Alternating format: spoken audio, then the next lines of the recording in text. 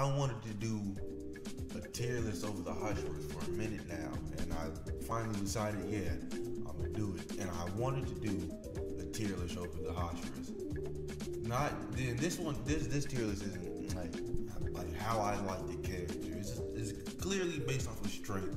Because after season two of Demon Slayer ended, I I don't know why this just now hit me, but I was like, Uzui was fighting Upper Moon number six. He is the weak, so that means Gyotaro or Gyotaro and Daki. I still don't know which one makes the Upper Moon. I think it's just Gyotaro and, and Daki. I don't know. I think it's just Gyotaro.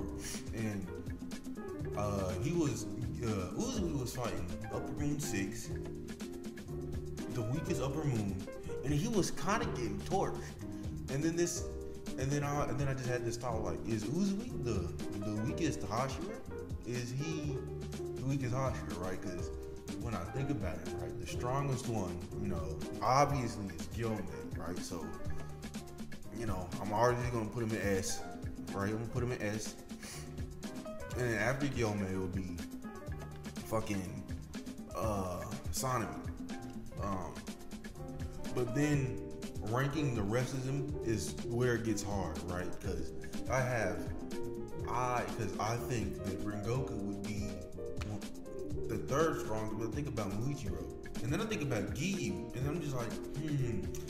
So I might just put these three, uh, Rengoku, Muichiro, and uh, Giyu in A, but rank them all in A. I think Rengoku being strongest, and then Muichiro, and then no, I think I might just put Giyu in B because he he did indeed he he did fight Akaza, he fought Akaza with Tanjiro, right? So he wouldn't be as strong. Okay, I feel like that's what I'm gonna do.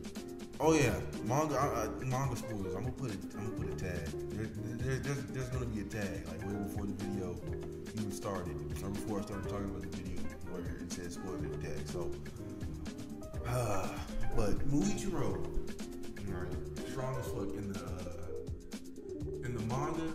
forget which upper moon he fight, but I'm not. I'm not even worried about that. I'm worried about how he did against uh, Kokushibo. Upper moon one. The man, he was he was so cool. Um, but he, he he died. Yeah, he's dead. Rest in peace. But he he kind of he was kind of snapping. So was Sanemi and so was Gyotaro. I mean not Gyotaro. Gilman, right? And Giyu fought Akaza. I don't remember. It's I'm I'm gonna put up these manga panels. I'm pretty sure Giyu was in the fight when they was all fighting, but then I think that he was in the fight when they was all fighting Muzan. So there's that. Um, uh, East Five is the easy part. Ranking the other four is, is where it gets a little difficult for me, right? Because I'm thinking, right? Because because I was, I was contemplating, thinking in my brain, right?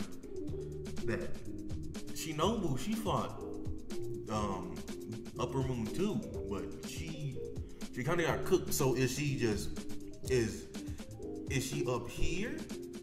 But I don't know. I don't think so. I don't know. She might just be up there with Giyu, right? She might be up there with Giyu or even a little stronger. I don't know. But that's, that's just what I what came to mind. And then Mitsuri, I think if I'm remembering correctly, let me look it up. Let me look up who uh, who exactly Mitsuri fought. She fought Upper Moon four. She fought Upper Moon number four, and I, if I'm remembering correctly, that's that nigga that got the. I think that he has the coolest design out of Upper Moon. I don't know why. Fucking, he was wasted there, but he he had a real cool design. Yeah, that's the Upper Moon she fought. Mm-hmm. Now I remember. She fought Upper Moon four and killed him. Now, uh, fuck. Does does Mitsuri also go here? Hmm. It's hard because I don't think like the more that I thought is is um is because I, I don't know. This just feels this seems right to me. Putting Shinobu right there. I don't know how to fuck rank Iguro, man. I I have no idea how to rank him. I might just throw him up there with um with uh Mitsuri because he really the only the only things we got to see him do was fight Upper Moon one, I, I think, and uh, Muzan, and he, I think he got off screen. Really, we really didn't get to see much of him, and I wanted to see some of him, but you know, we, we just fucking didn't. I don't know how to rank him.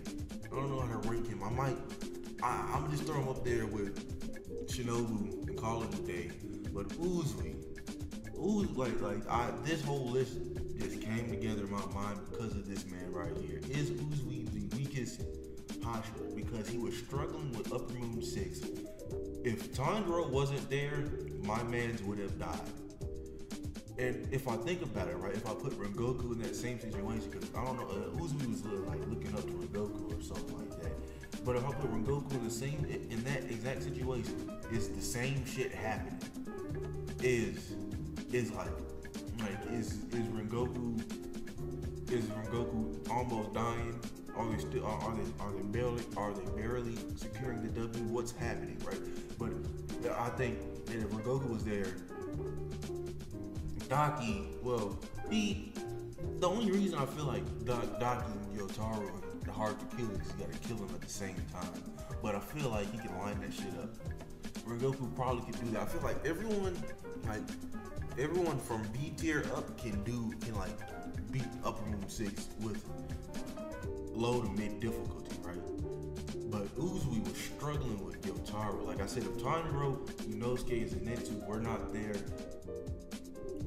um, Uzui would have died. Uzui would have died, right? Um, so I don't know. I feel like it's fair to put him here, but he like it just doesn't seem right. He might be the fastest killer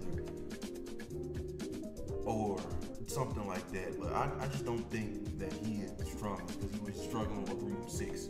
Wow, everyone else just didn't like like they fought stronger upper moons. Mitsuri killed upper moon four.